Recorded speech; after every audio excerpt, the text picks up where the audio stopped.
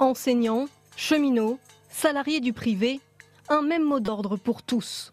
On ne lâchera pas c'est important. Après, effectivement, je ne peux pas faire grève pendant des semaines entières, mais euh, le faire euh, quelques après-midi de temps en temps. 11 000 personnes ont défilé à Lille selon la préfecture, 30 000 selon les syndicats. Pour tous, pas question de trêve de fin d'année, malgré les conséquences. On va peut-être sacrifier un Noël, mais bon, on tiendra. Nous, on se bat pour, pour un avenir et, il faut voir beaucoup plus loin qu'un euh, jour comme ça. Quoi. Des Noëls, on en aura plein. Alors que si les gens ont des retraites pourries, bah, ils auront des Noëls pourris. En Bretagne aussi, toutes professions confondues, 30 000 manifestants selon la police, 50 000 d'après les syndicats.